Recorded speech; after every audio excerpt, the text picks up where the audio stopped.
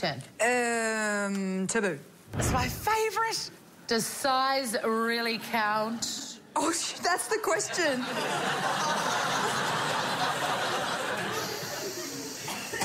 well, it's not the size of the wand, it's how the wizard works it.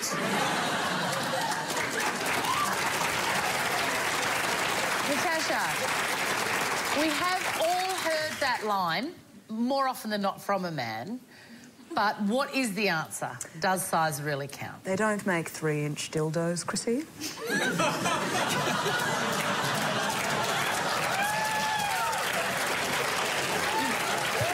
I mean, that's a very succinct answer. That's my thank you. answer. Deborah Lee, does